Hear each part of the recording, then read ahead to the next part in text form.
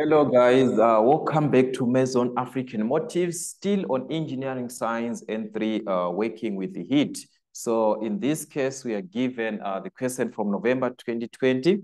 Uh, the first part of the question, we are given to explain the heat value of a fuel. So what is uh, the heat value of a fuel? If you to check uh, the heat value of a fuel, may, mostly if you have to check on your formula sheet, it's, it's actually measured in megajoules uh, per kg.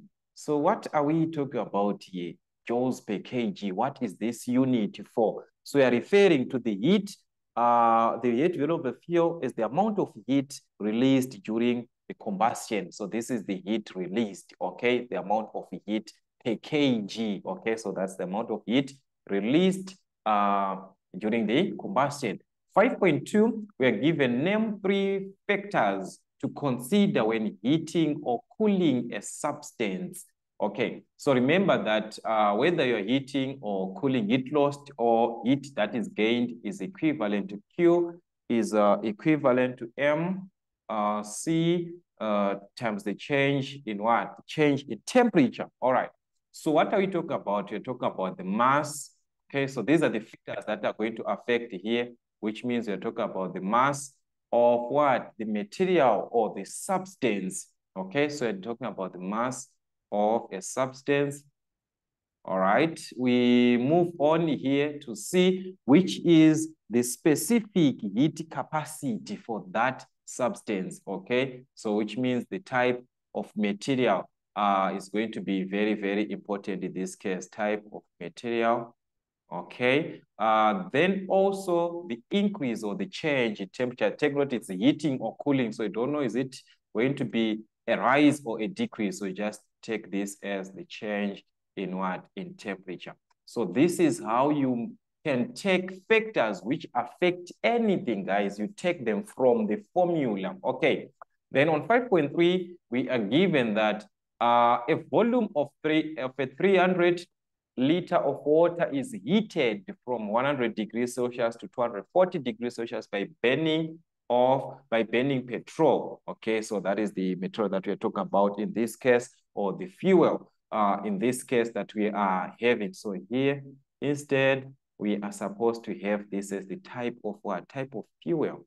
Okay, so this can be type of fuel, the fuel that is used or fuel used, okay? Okay, I think that can be much better. All right, so let's list our information on 5.3. I'm just gonna list the information down, the one that we are given. So there we are given that a volume of 300 liters is heated from 100 to 240. Okay, so the volume that we are given in this case of 100 liters is actually giving us the, the mass Okay, uh, the one that you are given, all right? So this is 300 liters, sorry, 300 liters is actually giving us the equivalent of the mass. Remember, one kg is equal to one liter. So this will be 300 kg, so which means we are also given the mass from that way, which is 300 kgs, okay? One liter is equivalent to one kg. And we are actually given the temperatures from a temperature of 100, which is your T1, to 240, which is T2. So you're given T1 and T2.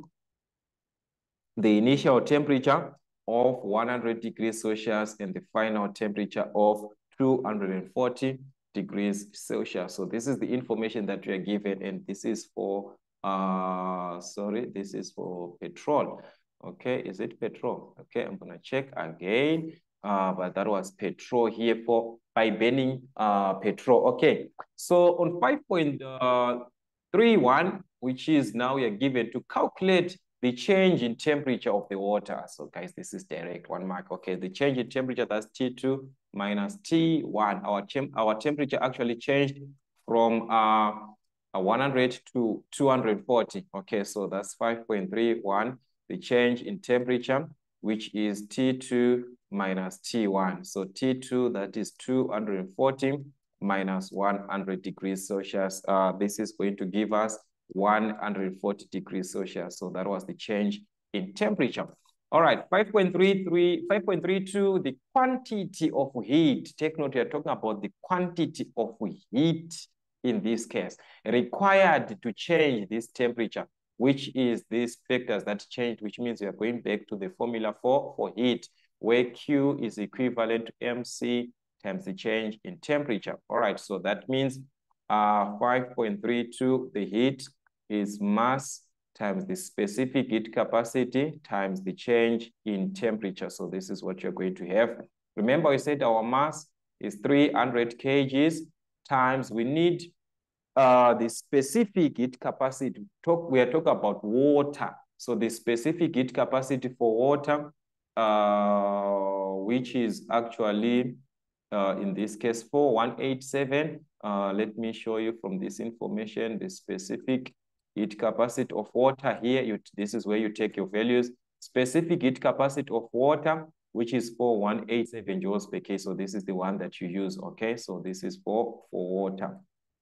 4187. So we are going to have 4187 in this case, 4187 times the change in temperature. We calculated this before we got 140 here from this previous information that was 140. Or you can subtract 240 minus 100, still only the same thing. You're going to obtain 140 still. So if you multiply everything, that is our heat in this case, which is going to be 17585 Four zero zero zero like that. Okay, so guys, you have to change this. You can even convert to megajoules. Okay, so that's to megajoules, which is times 10 to the exponent of 6. So this is going to be 3, 6. So we are going to have this as 175, comma 854 times 10 to the power of 6, which is mega, which is megajoules. Okay, so that is what we had.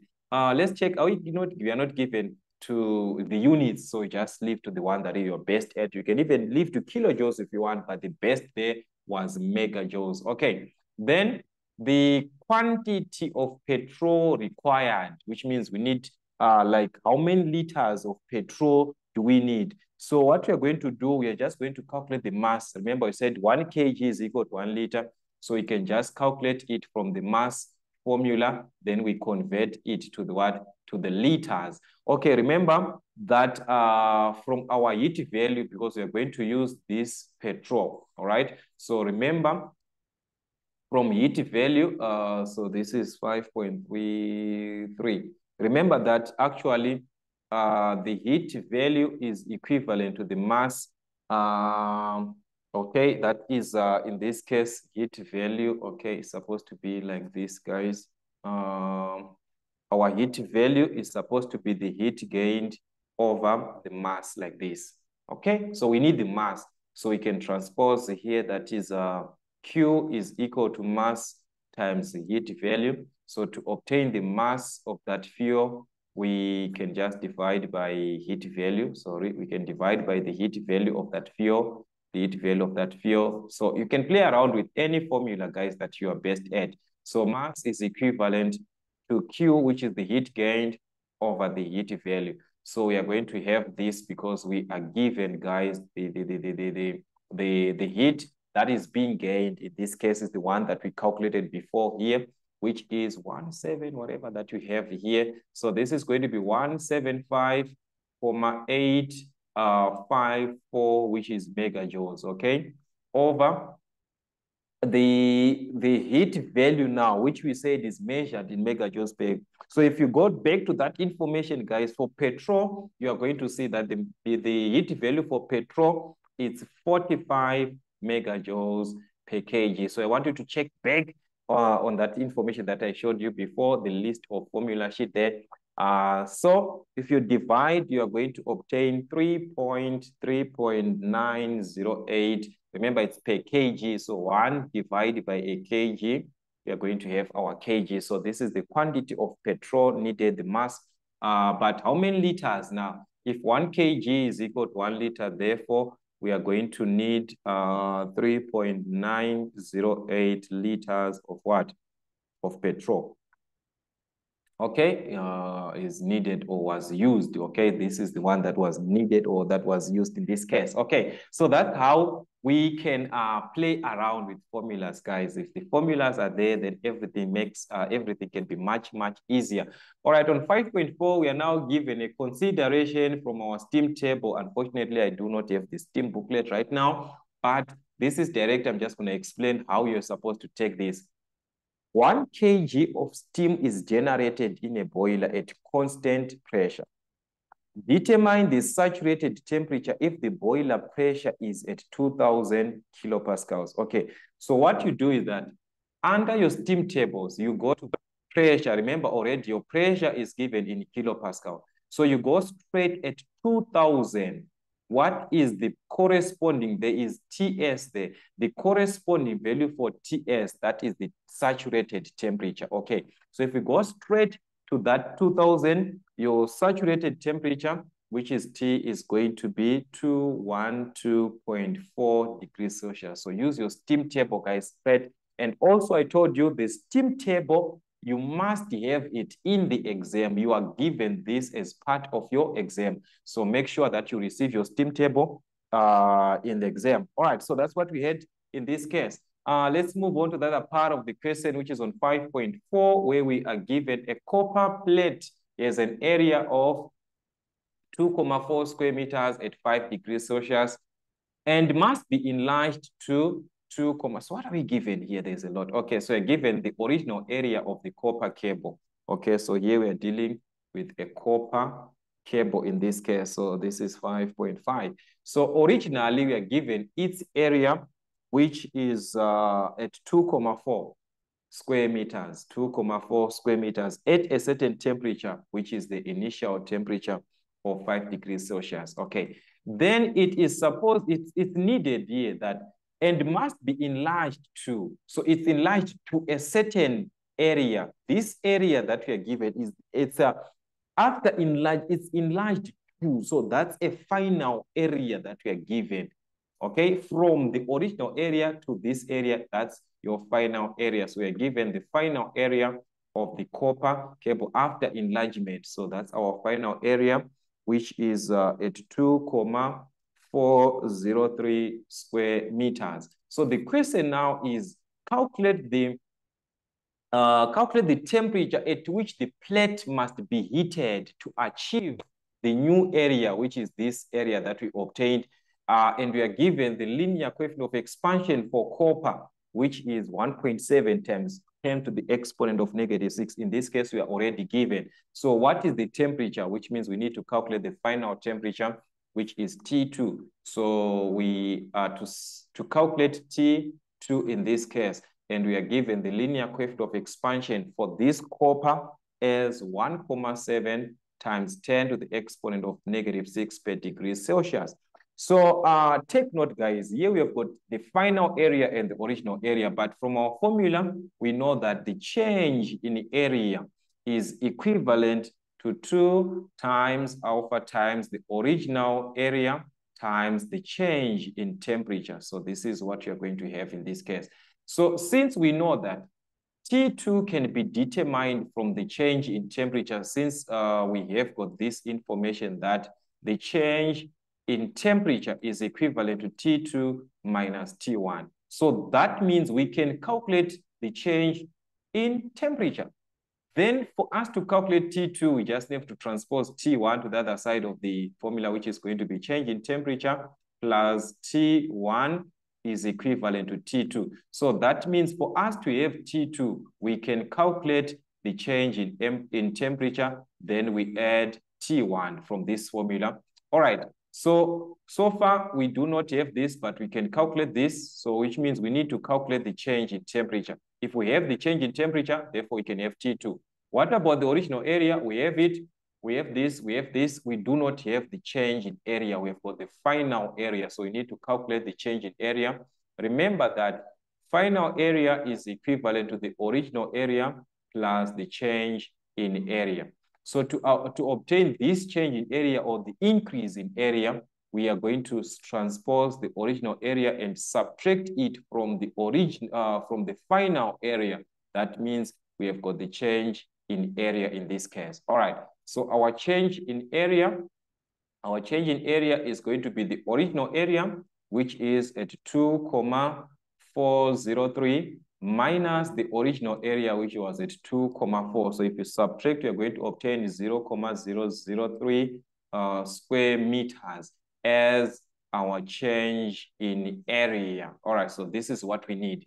So like I said, you are going to calculate the change in temperature, which is this one. So you can substitute your values since we have the change in area of 0, 0.03, uh, 0, 0.003, 0, 0.003, which is equal to uh, 2 times our alpha, the linear coefficient of expansion of 1,7 times 10 to the exponent of negative 6 times the original area in this case, which was at 2,4 times the change in temperature. So what you're going to do, you're going to divide by this on the left-hand side, you divide by the whole of this to 0, comma 0.03. So you're going to have your change in temperature. All right, so your change in temperature, if you divide it properly, uh, this will be like this, guys. If you divide, it will be 0, 0.003 over everything that we have 2 times 1,7 times 10 to the exponent of negative 6 times 2,4. All right, so this is what you're going to have as the change in temperature of 367,64 uh, 647 degrees Celsius. So this is 647 degrees Celsius. So like I said, this was not for uh, this was not for us to calculate the change in temperature, but the final temperature, which is T2. So now we can have our T2 from this information since we said T2 is equal to the change in area, which is the one that we got of 367,647 plus the T1, which is the original temperature that we are given in this case, which was at uh, 5 degrees Celsius. So if we add the 5 degrees Celsius we are going to obtain the final temperature in this case, which is going to be 372.647 degrees Celsius. Okay, so that was our T2 in this case. Okay, so that was actually the question that we had uh, on heat from this question paper of November 2020, having a total of 14 marks. That's a lot in exam, guys. This is a lot. So uh, you have to revise, guys, as much questions as possible uh, preparing yourself for the exams which are ahead of time so that you don't uh, lack any, any information. For now, that's what we had for Maths Zone African Motives till we meet again.